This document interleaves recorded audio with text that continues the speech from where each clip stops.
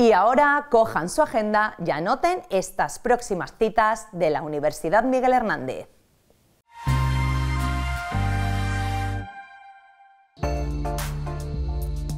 El Centro de Idiomas de la UMH ha organizado pruebas de diferentes idiomas para todos los miembros de la comunidad universitaria que necesiten acreditar su nivel para irse de Erasmus. El plazo para apuntarse a las pruebas de alemán, francés e italiano estará abierto hasta el 21 de diciembre y los exámenes se realizarán en enero. Toda la información la encontrarán en la web del Centro de Idiomas. El 19 i 20 de desembre se celebra la cinquena jornada de difusió de la investigació en atenció primària, durant la qual antics estudiants i doctorants de la UEMAC donaran a conèixer els seus projectes d'investigació. A més, hi tindran lloc dues taules redones sobre la investigació en l'àmbit de l'atenció primària.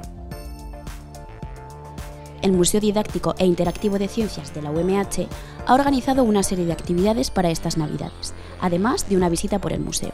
Los participantes podrán disfrutar de la ciencia en familia. Por ejemplo, elaborarán un jamón con aloe vera, fabricarán una tarjeta navideña con electricidad o buscarán la estrella de Belén. Estos talleres están dirigidos a todas las edades a partir de 3 años.